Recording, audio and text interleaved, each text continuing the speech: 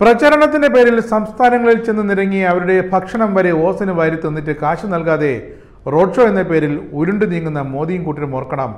അടുത്തിട്ട് ഇളകുകയാണെന്ന്. അതുകൊണ്ടാണല്ലോ കേരളത്തിലെ B J പിക്കാരും അടിവാരം ഇളകിയ അവസ്ഥയിൽ ഇപ്പോൾ പരക്കം പാഞ്ഞ് നടക്കുന്നത്. പലതവണ പറഞ്ഞതാണ് ഒന്നുകൂടി പറയുന്നു തിരുവനന്തപുരത്ത് എം പി ആകുക പന്നിൻ രവീന്ദ്രൻ തന്നെയാകും. അപ്പോൾ രണ്ടാമനോ പാവം ശശി തരൂരിന് അതിനും ഇത്തവണ വിധിയില്ലെന്നതാണ് ഏറ്റവും പുതിയ റിപ്പോർട്ടുകൾ. അതിനെപ്പറ്റി വിശദമായി തന്നെ പറയുന്നുണ്ട് ഇവിടെ. കേരളത്തിൽ ഇത്തവണ ഇന്ത്യ മുന്നണിയില്ല എന്നാണ് വയ്പ് L D F U D F മത്സരത്തിനിടെ മൂന്നാമതെത്തുന്നാൽ എന്ന സ്ഥാനം സ്വാഭാവികമായും ബി ജെ പിക്ക് അവകാശപ്പെട്ടതാണ്. അത് അവർക്ക് വിട്ടുകൊടുക്കുന്നു. എന്നാൽ ചിലയിടങ്ങളിൽ ബി ജെ പി രണ്ടാം സ്ഥാനത്തേക്ക് എത്തുമെന്ന് കണക്കുകൂട്ടലുണ്ട്.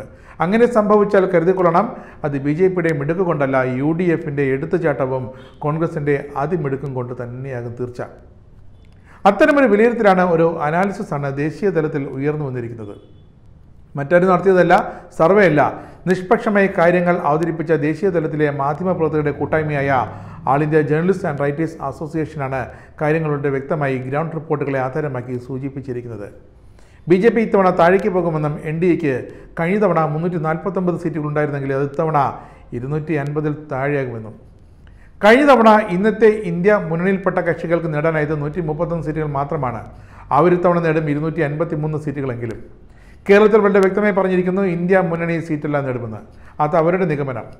നമുക്കെല്ലാം അറിയൂ ഇവിടെ ബി ജെ പിയെ ഭയന്ന് അവർക്കെതിരെ സി പി എമ്മിനോട് കൈകോർത്ത് വോട്ട് ചെയ്യാൻ ധൈര്യമില്ലാതെ ബി ജെ പിയിലേക്ക് ചായാനിരിക്കുന്ന സ്ഥാനാർത്ഥികളെ നിർത്തി മത്സരിപ്പിച്ച കോൺഗ്രസിന്റെ നെഞ്ചിലെ തീ ഹൈക്കമാൻഡിന്റെ കയ്യിലുണ്ടല്ലോ ആ ലിസ്റ്റ്. എത്ര കോൺഗ്രസ് നേതാക്കൾ ബി ജെ പി മനസ്സുമായി നടക്കുന്നുവെന്നും ഈ വോട്ടെണ്ണൽ കഴിഞ്ഞാൽ എത്ര കോൺഗ്രസ് നേതാക്കൾ ബി ജെ പി ക്യാമ്പിലേക്ക് എത്തുമെന്നും. എന്തിനാണ് ഹൈക്കമാൻഡ് ഈ ലിസ്റ്റ് എടുത്തു വച്ചേക്കുന്നത്? കേന്ദ്രത്തിൽ ഒന്നുകൂടി ബി ജെ പി വരുന്ന കാര്യം നേരത്തെ നടത്തിയ അവലോകനത്തിൽ ഇത് പറഞ്ഞതുപോലെ അതിസംശയകരമായ കാര്യമാണ്. അപ്പോൾ ഇങ്ങനെ ചാടാനൊരുങ്ങി കച്ചമുറുക്കി നിൽക്കുന്ന നേതാക്കൾ അയയും തിരിയും കോൺഗ്രസ് പാളയത്തിൽ ചെന്ന് ചുരുണ്ടുകൂടി കിടക്കും. ഇതിൽ മുൻ സംസ്ഥാന മന്ത്രിമാരുണ്ട് ചില ഡി സി സി പ്രസിഡന്റുമാരുണ്ട് ഡി സി സി ഭാരവാഹികളുണ്ട് കെ പി സി സി സെക്രട്ടറിമാരും ഒക്കെയുണ്ട് ഈ ലിസ്റ്റിൽപ്പെട്ട അത്തരക്കാർ ഇനി പാർട്ടിയുടെ നേതൃസ്ഥാനങ്ങളിലേക്ക് ആനയിച്ച് കൊണ്ടുവരേണ്ട കാര്യമില്ല എന്നാണ് ഹൈക്കമാൻഡിന്റെ തീരുമാനം.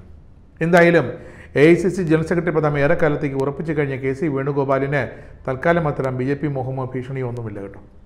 കെ സി കോൺഗ്രസിൽ തന്നെ കാണും. ഉമ്മൻചാണ്ടിയുടെയും എ കെ ആൻഡിയുടെയും ഇരട്ട ഗ്യാപ്പാണ് കെ സിയെ ഇവിടെ കാത്തിരിക്കുന്നത്. ചരിത്രം ആവർത്തിച്ചാൽ കീഴ്വഴക്കങ്ങൾ പോലെ നടന്നാൽ എന്തെങ്കിലും ഒരു നാൾ കെ സി കേരളത്തിന്റെ മുഖ്യമന്ത്രിയാകും. ഈ രണ്ടായിരത്തി ഇരുപത്താറിലല്ല കേട്ടോ? അതിന് കെ സി പ്രതിപക്ഷത്തിരുന്നൊരു അല്പം ഹോംവർക്ക് ചെയ്യേണ്ടതുണ്ട്. രമേശ് ചെന്നിത്തല ചെയ്യാൻ മടിച്ചുപേക്ഷിച്ച ആ ഹോംവർക്ക് അതാണിപ്പോൾ ചെന്നിത്തല പ്രതിപക്ഷ നേതാവിന്റെ പദവി പോലും ഇല്ലാതെ എ ഐ സി സി ഒരിടത്തും ലോക്സഭാ തിരഞ്ഞെടുപ്പ് നിരീക്ഷണയിൽ പോലും അയക്കാതെ ചെന്നിത്തല ഉല്ലാസയാത്രയുമായി ചുറ്റി നടക്കുന്നത് അതാണ് കോൺഗ്രസിലെ പാവം ചില കോൺഗ്രസ് നേതാക്കളുടെ വിധി.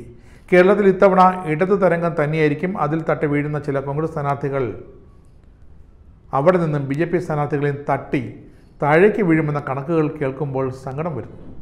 അതിലാണ് തിരുവനന്തപുരമുള്ളത് പലതവണ പറഞ്ഞതു പറഞ്ഞത് ആവർത്തിക്കേണ്ട എന്ന് കരുതിയതാണ്.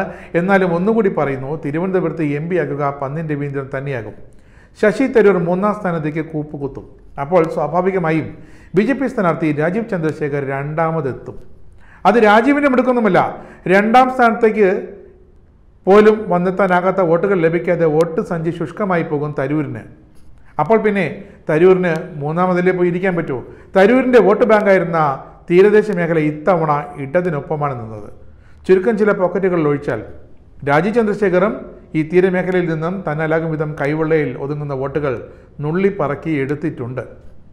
തീരദേശ മേഖല കഴിഞ്ഞിട്ട് യു ഡി എഫിനെ തുണച്ചിരുന്ന ന്യൂനപക്ഷങ്ങളോ ഇത്തവണ തരൂരിന്റെ മുസ്ലിം വിരുദ്ധ സമീപനങ്ങൾ അവർ ലൈവായി കണ്ടുകൊണ്ടിരുന്നതാണ്. അപ്പോൾ അടുത്ത മതേതര ഇടമേതെന്ന അവരുടെ അന്വേഷണത്തിൽ മുഖ്യമന്ത്രി ആവർത്തിച്ച പ്രചരണങ്ങളിൽ ഉടനീളം പറഞ്ഞൊരു വാക്കുണ്ട്. കേരളം മാത്രമാണ് മുസ്ലിം സമുദായത്തിന് സുരക്ഷിതം ആശ്രയം. അതൊരു മറ്റൊരു സംസ്ഥാനത്തിനും ആ സുരക്ഷിതത്വം ഉറപ്പാക്കാനും നൽകാനുമാകില്ല. അതുകൊണ്ടാണ് കേന്ദ്രത്തിൽ ബി ജെ പി ഇനിയും അധികാരത്തിൽ വരരുത് എന്ന് പറയുന്നത് എന്ന്. മുഖ്യമന്ത്രിയുടെ ആ പ്രചരണത്തിലെ വസ്തുത മനസ്സിലാക്കിയ ന്യൂനപക്ഷങ്ങൾ ഇത്തവണ ഇടതിനൊപ്പം ചേർന്ന് നിൽക്കുന്നു. ഇനിയും അങ്ങോട്ടൊപ്പം ഉണ്ടാകും എന്നുറപ്പ്. ഇപ്പോൾ മനസ്സിലായില്ലേ? പന്നിൻ രവീന്ദ്രൻ എന്തുകൊണ്ട് ഒന്നാമതെത്തും? രാജീവ് എന്തുകൊണ്ട് രണ്ടാമതെത്തും? ശശി തരൂർ എന്തുകൊണ്ട് മൂന്നാം സ്ഥാനത്തേക്ക് തള്ളിപ്പോകുമെന്ന്?